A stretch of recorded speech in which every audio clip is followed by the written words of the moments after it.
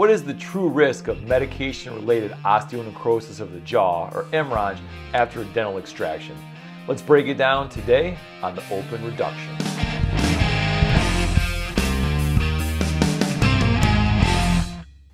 Welcome to the Open Reduction, the show everything oral and maxillofacial surgery. I'm Dr. Tom Bolten, and today we're going to talk about a disease process that I get a lot of questions about, medication-related osteonecrosis of the jaw, otherwise known as MRONJ. We're going to break down what MRONJ is, what medications cause it, what the risks truly are, and the best ways to go about preventing it. Medication-related osteonecrosis of the jaw. It's a long title, so let's break it down. Medication-related, this disease process is due to certain medications, which we'll cover in a minute. Osteonecrosis, we'll break this into two parts. Osteo, which means bone, and necrosis, which means death. So osteonecrosis, death of bone, of the jaw, occurs in the upper and lower jaw, the maxilla and mandible. So, MRONJ is a disease process where a portion of the jawbone dies as a result of a medication that a patient's taken. For an official diagnosis, we have to check three boxes. Current or previous treatment with anti-resorptive medications, exposed bone or bone probe through a fistula in the maxillofacial region that has persisted for over eight weeks, no history of radiation or metastatic disease to the jaw. Radiation and metastatic disease can also cause osteonecrosis of the jaw. What's an anti-resorptive medication? Anti-resorptive medications are a class of medications designed to limit bone turnover and are usually prescribed for osteoporosis or for cancer that's spread into the bones. There are two families of anti-resorptives, bisphosphonates and rank ligand inhibitors. The first family, bisphosphonates, are very common and are subdivided into the method of administration, oral versus injection and infusion. The most common oral bisphosphonates are Fosamax and Actonel, and the most common parenteral bisphosphonates are Reclast and Boniva.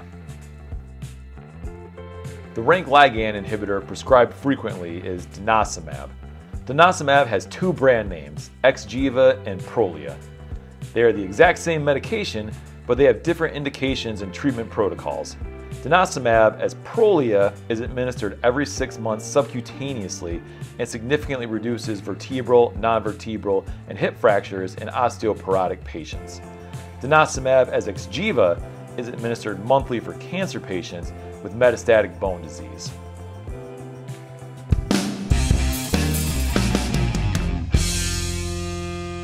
Who's at risk? Any patient who's been treated with anti-resorptives at any time in their life is at risk for MRONJ. MRONJ can occur spontaneously, but patients usually have a history of a recent dental extraction. Anti-resorptives limit bone turnover. This is very effective in treating osteoporosis and bone metastases, but it can be a problem after a tooth extraction. The jaw requires a high rate of bone turnover to heal correctly after a tooth extraction, and when patients are on these medications, there is a risk the bone will not heal appropriately. It's important to have a talk with every patient who has a history of taking these medications because dentoalveolar surgery is the most common event to precipitate MRONJ. Over 5.1 million people in the United States alone are on anti-resorptive medications, so we'll be seeing patients on these medications regularly. The most common question I get is, what's my risk? The answer is, it depends. The risk is based on the reason the patients are taking the medication in the first place.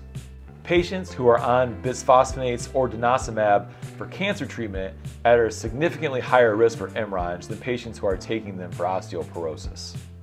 The lifetime risk for patients taking bisphosphonates is low, roughly 2 to 5 in 10,000, or 0.02 to 0.05%. And for patients on Prolia, the risk is 0.3%. The lifetime risk for cancer patients is much higher, with studies ranging from 1 to 5%. This risk goes up each year cancer patients are on anti-resorptives. But that's lifetime. The main question I get, being an oral surgeon, is what's my risk of MRONJ after a tooth extraction? The biggest predisposing factor to MRONJ is dental extraction. Again, the risk depends on why the patient is on the medication in the first place. Patients on bisphosphonates have about a 0.15% chance of developing MRONJ after a tooth extraction, or about 1 in 667. For patients on Prolia, it's about 1%. Patients who are on anti-resorptives for cancer have a much higher risk, approximately 5% or 1 in 20. The risk is higher in the lower jaw than in the upper jaw. 75% of MRONJ cases occur in the mandible.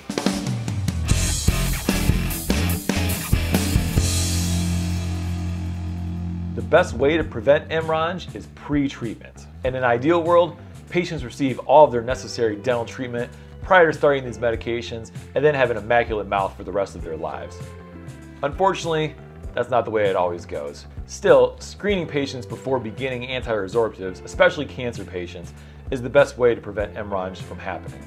There are several things we can do to limit the risk of MRONJ, including preoperative and postoperative antibiotics, antimicrobial mouth rinses, primarily closing extraction sites and encouraging patients to maintain good oral hygiene.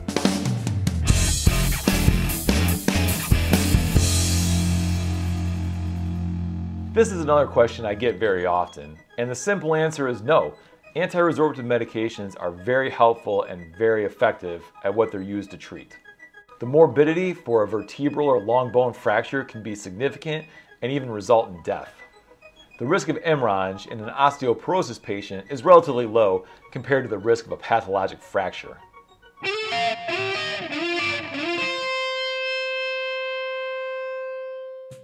Drug holiday is one of the most debated topics in MRONJ treatment.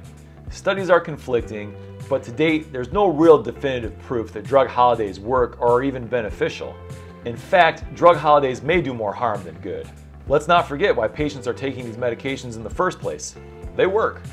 Bisphosphonates bind in bone, and they're not liberated until the bone they're in is resorbed, so they last a very long time years, even decades. The other big player, denosumab, is a different story. Rank ligand inhibitors do not bind to bone, and their effects on bone remodeling are mostly diminished within six months of treatment cessation.